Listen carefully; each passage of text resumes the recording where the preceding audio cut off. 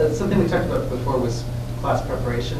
How much um, lecture by lecture preparation do you think it's good to do before the semester starts? I think you should, I would anyway, have sketched, at a minimum, have sketched out what the lectures are, like what I would expect to cover in each class, and maybe at least a rough outline of what that was.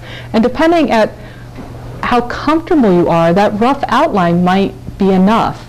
Um, if you're, you, you, but you may want to build in, especially if you've never taught the course before, or it's a topic where you don't expect it to generate a lot of um, discussion, or it's a large lecture class, you want to build in examples underneath each of those points. So um, I've done it both ways, where I'm all prepared ahead of time, and where um, mostly I'm doing it week by week, and it's really dependent on sort of where I'm at at that point. And the one thing I would say is try to have your lectures done at least a week ahead of time because otherwise if you get sick or something or you're in a car accident, all of a sudden, oh, there's your class and how are you going to lecture to them? You know, you're not ready to do it.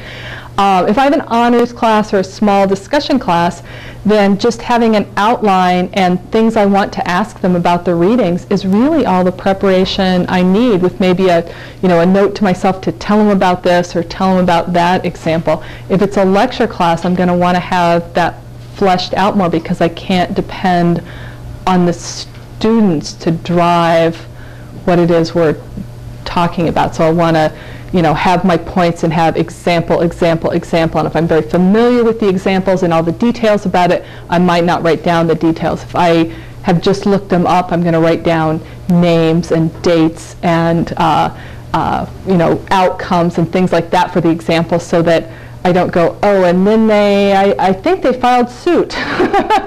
you know, that doesn't work. I want to be able to say what they actually did in that particular policy case.